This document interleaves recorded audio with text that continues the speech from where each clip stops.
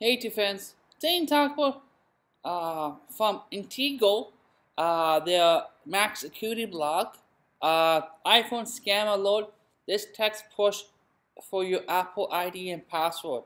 Um, iPhone users are being warned this week about a new text message scam phishing for Apple ID and password. Thousands of iPhone users have reported being affected by this scam, tricking people into giving their passwords and other private information.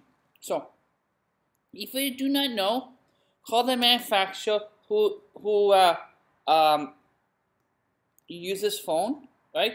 So this case is Apple. So call Apple saying this is this legit or not legit, and they will tell you. They'll look it up. They will tell you.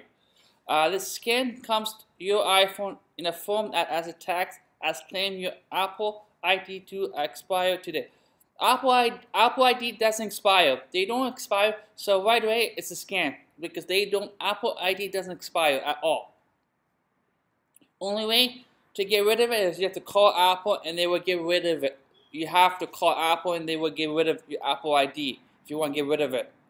Um, it says print this by confusing, confirming your Apple ID at, I mean, and then concluding grammar errors, right? This later version of this text fixed grammar errors.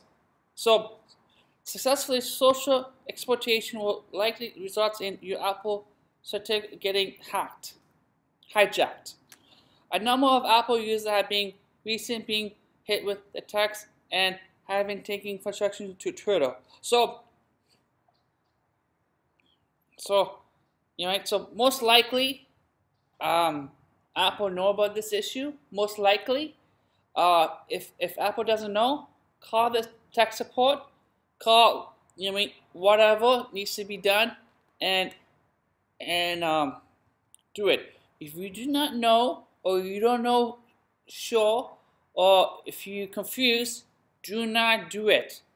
Right? You're just asking for trouble, and then now you have to change your password. Then your Apple ID is compromised, your password's compromised all that kind of, it's not good stuff. So I'll put the link in the description, you guys can read it. Um, it has some examples down below, right? So you guys can check it out, right? And uh, that's it, guys. And uh, guys, be safe. And uh, that's it. Bye-bye.